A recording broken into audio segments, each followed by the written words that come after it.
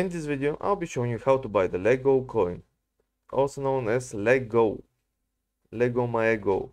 So, copy the contract from CoinMarketCap once you found it there, then head over to 1inch, switch from Ethereum to the BNB network or from whatever network you're currently on to the BNB network, then select the second panel, paste the address we just copied there, and import. Click here to understand the risks. Okay, and there it is. Now you can trade into BNB, into Lego, from BNB into Lego. Hope this helps.